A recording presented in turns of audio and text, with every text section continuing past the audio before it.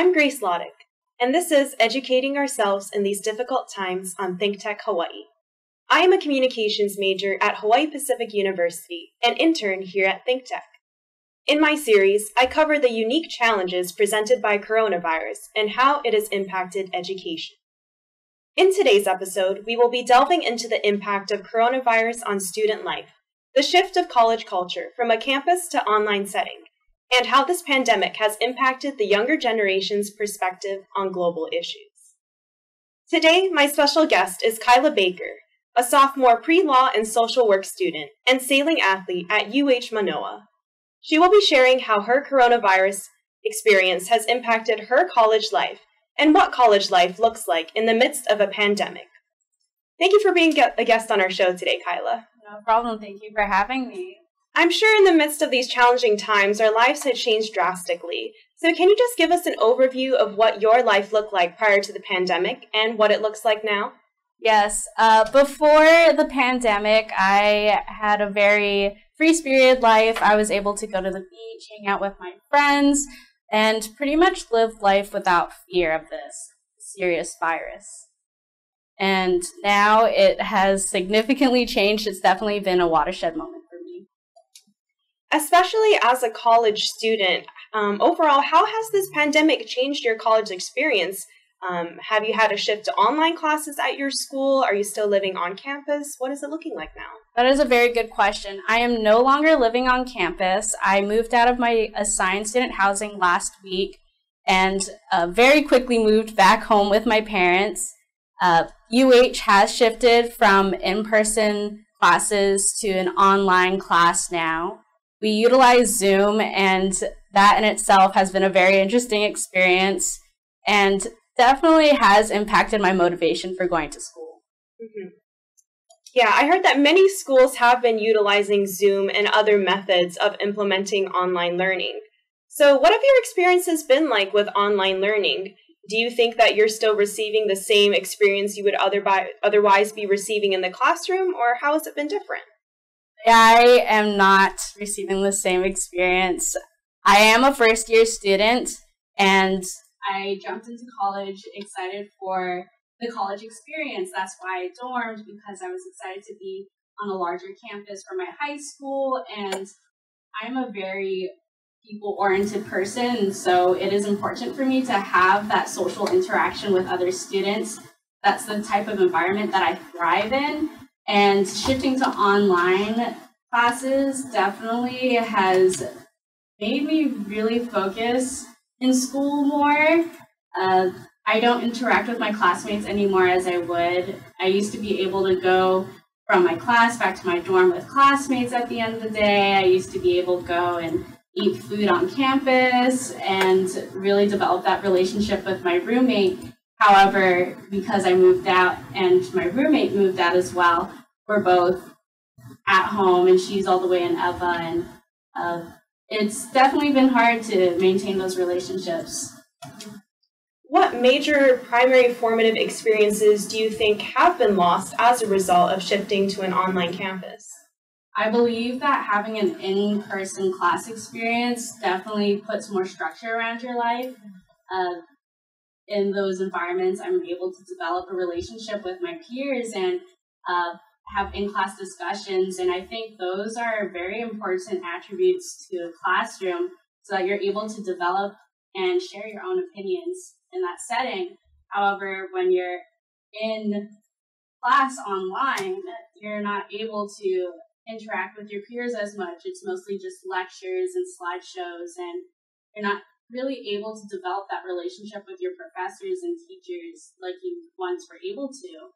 Now it's pretty much just emailing and uh, doing your best to finish assignments and labs and uh, you can't really ask for help anymore in person, which is something that's important to me.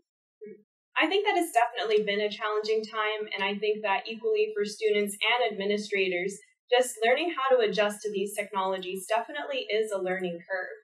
Would you say overall your classroom experience has become more or less formal? And how do you think that your classmates have been coping with the transition as well? That's a very good question. We talked about this in my social work class yesterday, actually. My social work professor is sure to check in on us and see how we're doing. And for me, it's been difficult finding a place in my house that's quiet because it is a five person household and with multiple people working at the same time and on conference calls, it's been hard to find that time and that peace and quiet in order to focus on classes. And uh, for me, it's just being able to take time at the end of the day to uh, pretty much just take time to myself because it is a small environment that I'm in now and just be able to uh, pretty much re- hit the reset button for my classmates. I know that they've been having a difficult time finding a way to cope with this and also have that same person interaction that they once had because they are also extroverts. Uh, I have classmates that have been cooking more, actually. That's something that I've been doing as well. And a lot of them are starting to exercise more. And uh, it's just very different. It's very different for us. It's definitely wonderful to hear that you guys have been finding ways to keep yourselves productive, perhaps exercise more creativity. I definitely think that that is important to maintain some kind of structure in our everyday lives as we go through this pandemic and adopting this new mindset of accepting the new normal for the time being. You mentioned earlier that your social work professor has been checking in with you guys on how you're doing and how you're coping with the changes. Have any other professors been checking in with you or implementing more lenient practices, such as altering grading to a pass fail scale, or allowing extensions on deadlines, or altering assignment requirements? Have you had any of those? Yes. For my language course, my professor has changed our syllabus so that it is more heavily weighed on homework and participation, which definitely helps during this time. My social work professor has changed her curriculum and added more projects, but more so it is self reflecting and explaining how you cope with this time and more of a self reflection. However, my lab, I take oceanography, and uh, through this, it has been downloading numerous programs on my laptop and trying to perform these experiments that you typically would perform in a professional lab and being able to document your findings. And uh, with that class, my professor has been more lenient, but she has not changed the curriculum thus far. So I'm hoping that goes a lot better than it's going right now for me. I can definitely imagine for classes such as labs or even clinical hours for your social work program, I can see how those would definitely be a challenge during this time. Um, what type of strategies have you been implementing to keep yourself on track with classes such as social work clinical hours or your oceanography lab? For my oceanography or lab, I make sure to take a look at the lab worksheet at the beginning of the week and slowly throughout the week work on it. Uh, I haven't been very disciplined in that regard as of lately, but I'm slowly figuring out the ropes of it all. Uh, with social work, it has we don't really do clinicals anymore for that. We don't have that in person interaction anymore because of this pandemic. So, mostly right now, it is just going over different types of social work and uh, different ways to interact with other people during this. My professor did acknowledge that it is difficult being a social worker during this time. And uh, especially with how limited resources can be for these communities that social workers typically work with. Uh, we've also had uh, guest speakers for our Zoom classes uh, to help us just get a better idea of what it's like to be a social worker. And uh, we actually interviewed a social worker who explains that this is a difficult time for not only students, but also people that are in the professional field because you know, this is a day by day thing. This is something that you just have to be able to acclimate to constantly and take precautions, especially when you're working with other people. I definitely am impressed with the fact that your professors have been bringing guest speakers onto Zoom. I think that that's definitely an amazing way to enhance the campus experience and try to get the most out of your education for the time being. Do you think that this will impact your ability to graduate on time, or how has this influenced the way in which you're planning for your future semesters? Yes. Uh, my plans for the following semesters have changed a little bit. Uh, initially, I was planning on taking summer school classes to get ahead, which is what I did last summer. And I really enjoyed being able to get ahead, and it also forced me to stay mentally stimulated throughout the summer and because of this pandemic, a lot of those classes are online now. And uh, I really wanted to take communication classes, and that's something that I think would be quite difficult to perform online. Uh, with grading, UH is considering turning our semester into a pass fail, uh, which is up for further discussion amongst the admin. I can definitely assure you that as a communications major, yes, communications classes are definitely a challenge to be conducted online, but it can be done.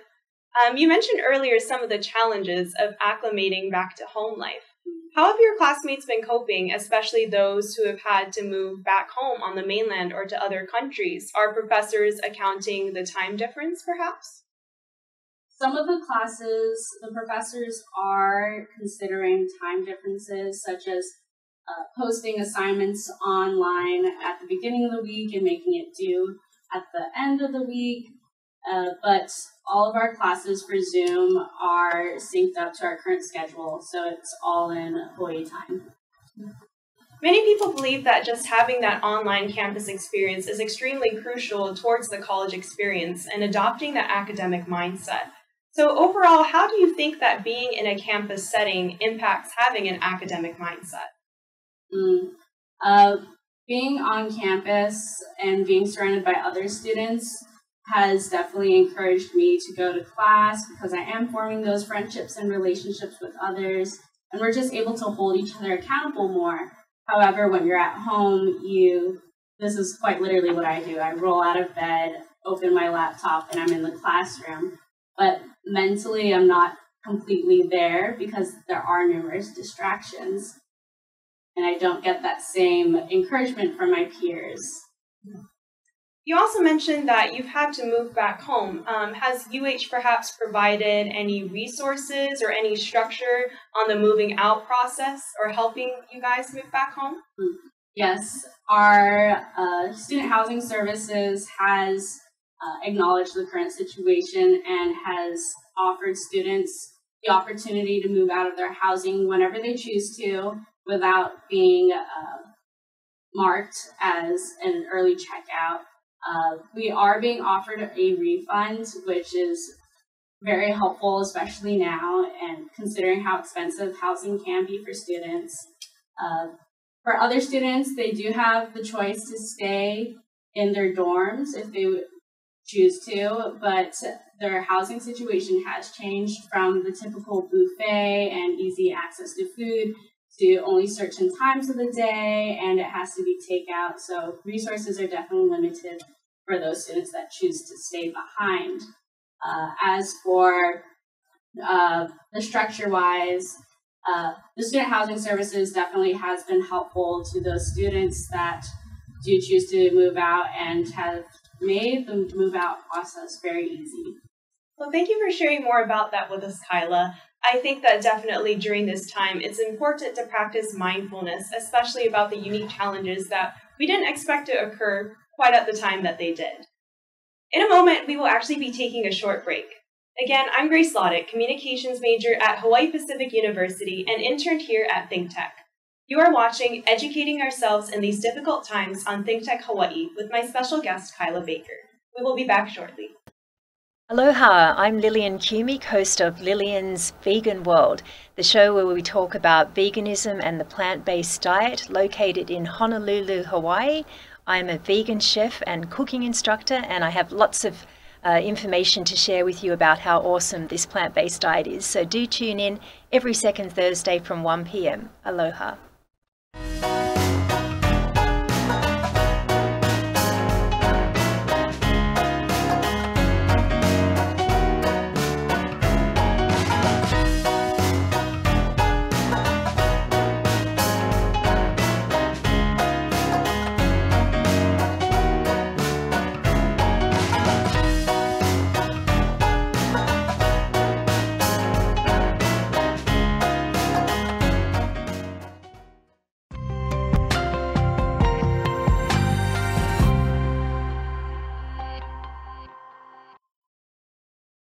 Welcome back to Educating Ourselves in These Difficult Times on ThinkTech Hawaii. I'm Grace Laudick, Communications major at Hawaii Pacific University and intern here at ThinkTech. My special guest today is Kaila Baker, a social work and pre-law student and sailing athlete at UH Manoa.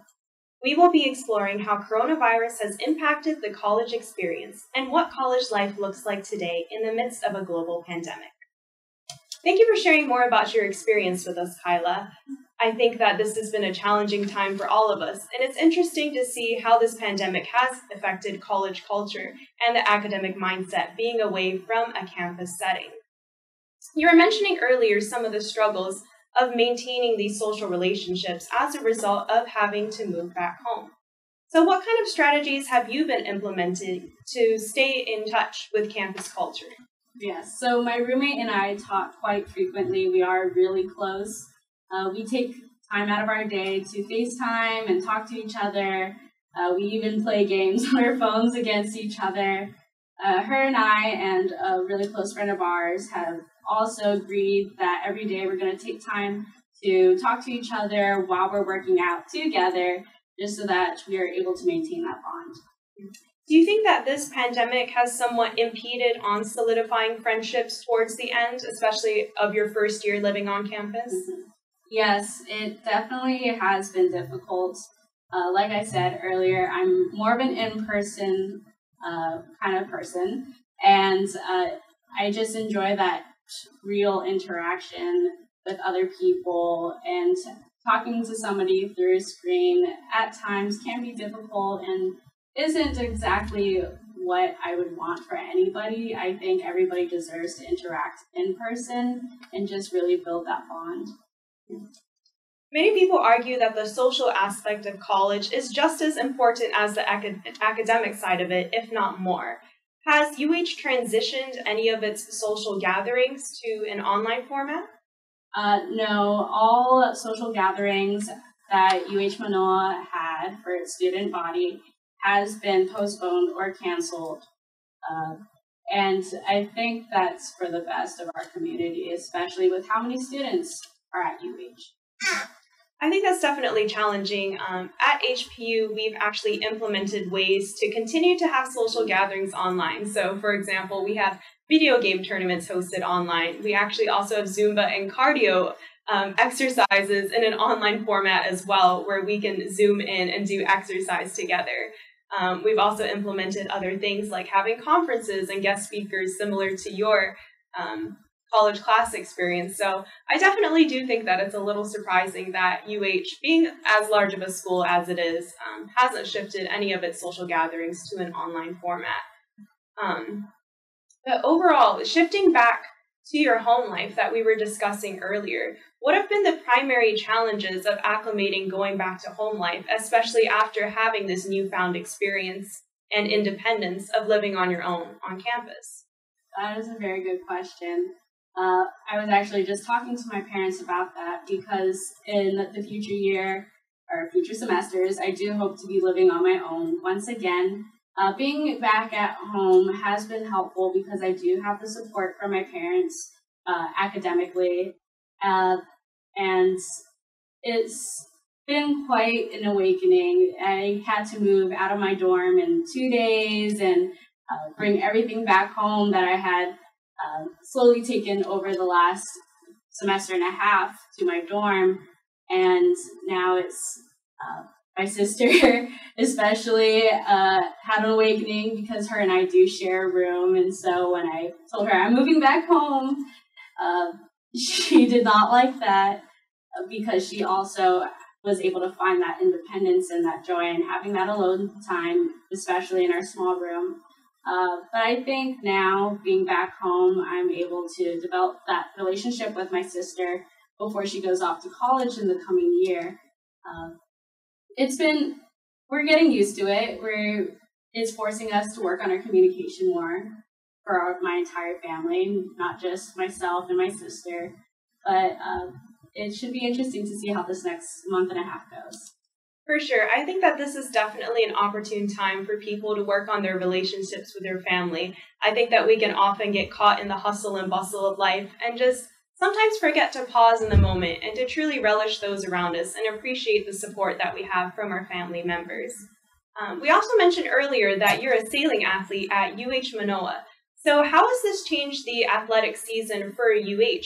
Has it perhaps postponed scholarships, recruitment programs? Um, how are games being conducted now? Right. So the NCAA has canceled the entire spring season. A lot of seniors are pretty upset about that. And it was definitely difficult for student athletes to receive that news.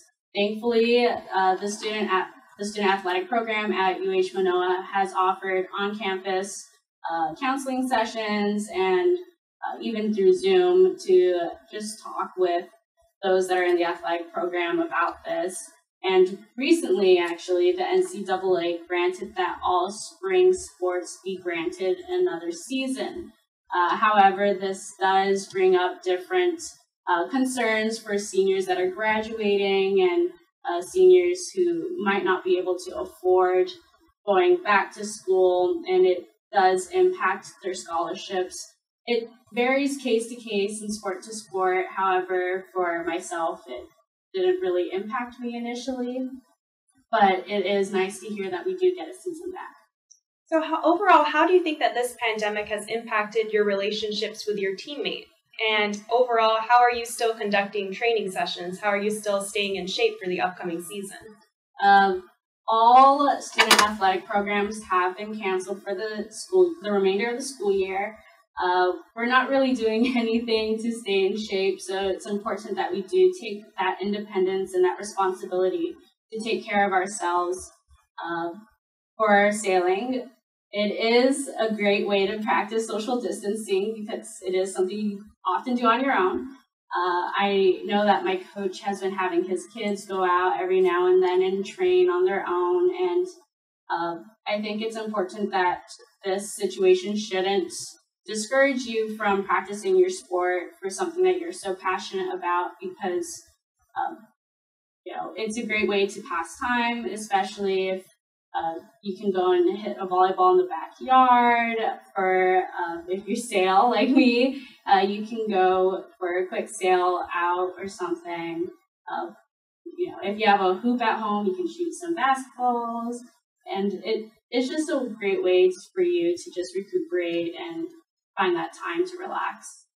It definitely is saddening to lose such a crucial part of the college experience. College sports, especially, are so vastly popular in the United States, and I know that many people have been experiencing disappointment as a result of the cancellations of these seasons. Um, something that you mentioned that really stood out to me was the idea of having responsibility for ourselves. And I think as college students emerging into the adult world, I think we definitely do earn a better grasp of the concept of responsibility in our everyday lives. So, from your perspective, how do you think that college students can contribute towards the success of flattening the curve for the coronavirus pandemic? I know that many of college students think that we're somehow invincible because most of us are very young and healthy. So, what do you think our role is um, in helping to flatten the curve? And how can we exercise thoughtfulness for those around us that may not be as privileged to be of youth and of good health? So definitely prior to this, I would go out whenever I wanted to, spend time with whoever I wanted to, and there were definitely no repercussions for what I did if I were being responsible, of course. Uh, but uh, I think it's important for us to take those precautions, such as wearing masks and uh, being sure to stay inside. I know a lot of college students that have come home from school And as soon as they get home, they go to the beach and they spend time with friends. But uh, as Governor Ige recently implemented, that we must have a 14 day quarantine before we interact with others. And uh, with that being said, I think it's important that we listen to that because living on such a small island, it does spread very easily. Uh, we live in a community where everybody's family, everybody takes care of each other, and now instead of going over to somebody's house and taking care of them physically, I think it's important that uh, the way of taking care of others now has changed from uh, staying at home, you know, to staying at home and just being able to help flatten that curve. I think that Hawaii especially is a unique environment because we have so many kupuna on the island and we definitely have tight-knit relationships with everybody, no matter what part of the island that you're from. Um, in what ways do you think that this pandemic has shifted the younger generation's perspective towards mortality? Mm, it definitely has been a wake-up call. I think that beforehand, a lot of people didn't really consider uh, how easily germs and viruses can spread. Uh, it definitely wasn't on my mind at the time, and now I have to be a lot more cognizant when I'm out uh, going grocery shopping. I'm uh, being sure to wipe down everything that I touch and uh, going home, my mom reminds me that even though it's in a packaging, it still can be contaminated with this virus. And so now we're extra careful and extra aware of our life, our daily life. And uh, I think that really does put our health into perspective and forces us to prioritize it more. For sure. I think that this definitely challenges us to question our role in society and how we can better contribute towards the flattening of the curve of this pandemic. I think that definitely as college students, we're often just caught up in our own lives and we don't necessarily think about those around us. But I think this pandemic definitely does challenge us to be more thoughtful and mindful of how our actions can affect those around us, no matter how minor they can seem. And I think that this lesson is definitely important for us to carry on even beyond the time of the pandemic, understanding that we definitely do play a role in society. No matter how much sometimes we may think that we're not important, we definitely do all contribute to an overall part of it. Thank you for sharing your perspective with us today, Kaila. It was definitely unique to hear how college culture and college life um, has changed as a result of shifting to an online culture. And I definitely think that it's important for us to work in conjunction with one another as a result of the challenges that have occurred um, due to the pandemic. I think that it was unexpected for the majority of us, but I think that as a community, there are definite lessons that can be learned as we work to, together and as a family to help eradicate this illness. Thank you again for watching Educating Ourselves in These Difficult Times on ThinkTech Hawaii. I'm Grace Laudick, communications major at Hawaii Pacific University and intern here at ThinkTech. If you would like to see more coverage on the intersection of coronavirus and education, my series airs every other Thursday at noon. Thank you, Kaila, for being a wonderful guest in our show today. I hope that Kaila and I were able to shed some light on the unique challenges presented by coronavirus and areas in which others can be a support to college students who are struggling with the transition of college life to an online format. We are both hopeful that we can all achieve a successful transition to a new normal. Aloha.